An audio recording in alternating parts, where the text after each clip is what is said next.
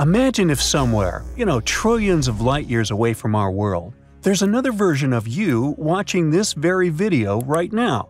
Not as crazy as it might sound.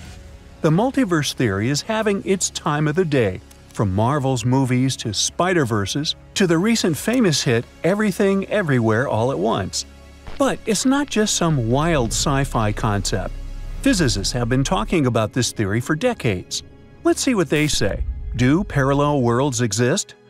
If they do, let's hope that this is the reality where you click that subscribe button before diving into the video.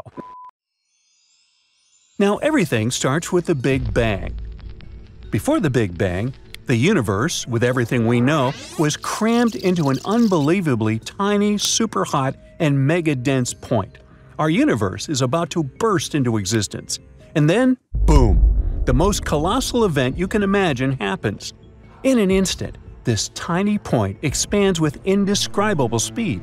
It's the beginning of everything time, space, and all the galaxies that surround us.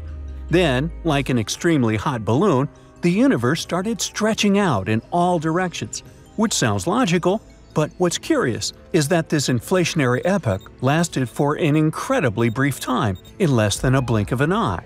It's like the universe hit the fast forward button and then everything eventually slowing down over time. After this speedy phase, the universe kept growing, but at a more normal pace. This rapid expansion is called inflationary cosmology, it explains some big mysteries about our world. It tells us why it looks the same in all directions, why the background radiation is evenly spread, why galaxies are where they are, and so on.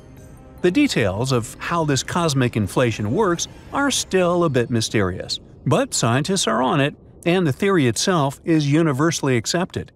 But it wasn't always this way. To scientists, this idea sounded like insane sci-fi at first. However, it explains so many things that the scientists just had no choice but pay attention to it. However, its initial weirdness was just the beginning. Now, according to this theory, inflation might not be a one-time thing. It could be happening repeatedly, maybe even endlessly. Picture the universe as a never-ending cycle, with each burst of inflation creating its own bubble universe, and the most important thing is that these bubble universes might not play by the same rules. Some could be totally weird, where the laws of physics are going crazy in ways we can't even fathom.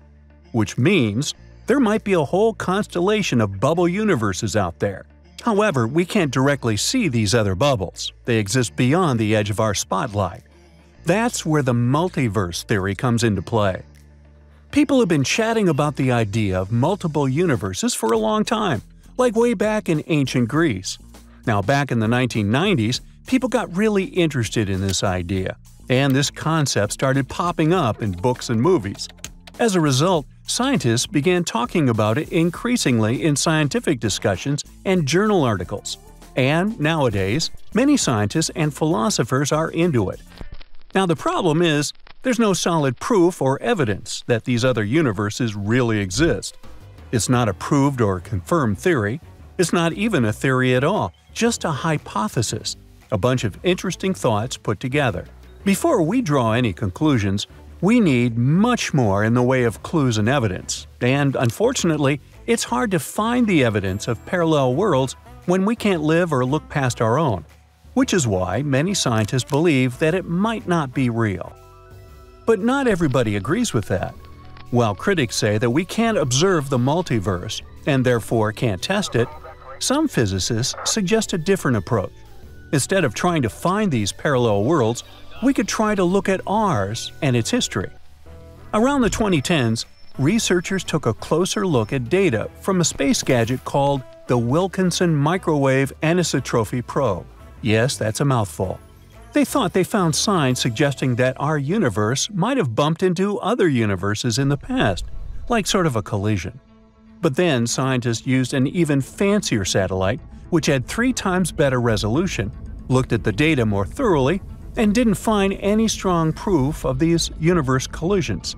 Plus, there was no evidence that other universes were tugging on ours with their gravity.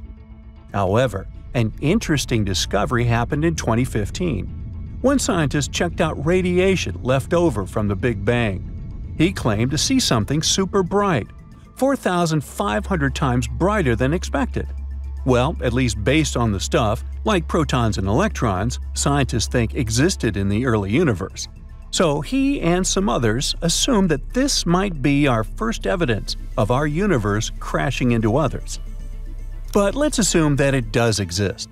The multiverse wouldn't be about human decisions creating alternate timelines.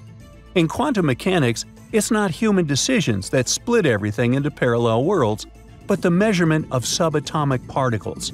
So, if we look at this theory scientifically, other worlds would be billions of light years away, and what's happening to them wouldn't have anything to do with our daily choices. So, what would it look like? Well, Max Tegmark, for example, talks about four levels of universes and multiverses. Level 1 is the extension of our world. Our universe is a big place, and in an infinite universe, there would be infinite chunks like ours, each with its own story.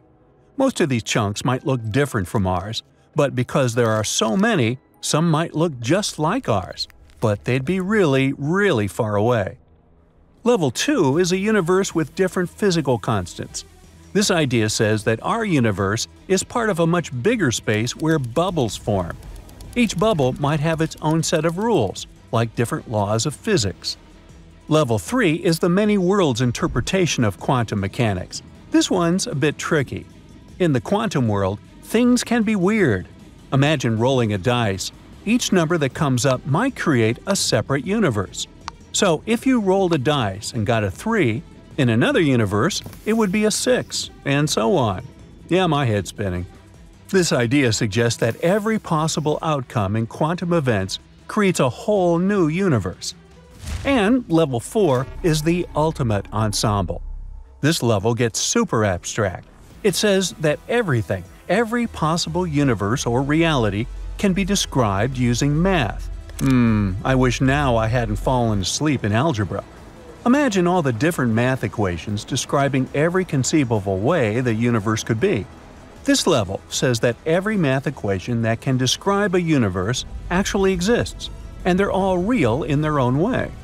Stephen Hawking was a proponent of the Level 3 many worlds interpretation. It was one of his last theories before he passed away. He predicted that the universe is finite and far simpler than many current theories about the Big Bang say. According to Hawking, the universe is like a giant quantum system, a sea of possibilities and probabilities. In this view, every outcome of the universe's history plays out in parallel existences, and we, as observers, play a crucial role. Our existence and what we observe, according to Hawking, actively shapes the universe we see. In simple words, the universe is a canvas and we're all painters. Sounds very cool and insane, but hey, many things in science were considered crazy before they turned out to be true. So, is there another copy of you somewhere watching this video and who just pressed the like button? Who knows? If there are infinite copies of us, scientists assume that we might be like identical twins, sharing the same origins and starting from one thing, but then developing into separate different people. And if these worlds exist, perhaps we can even visit them one day. There could be some connections between us, something that could allow for interdimensional travel. For example, wormholes. Well, whatever the truth may be, let's hope that one day we'll discover it. Until then, stay curious. That's it for today. So hey, if you pacified your curiosity, then give the video a like and share it with your friends. Or if you want more, just click on these videos and stay on the bright side.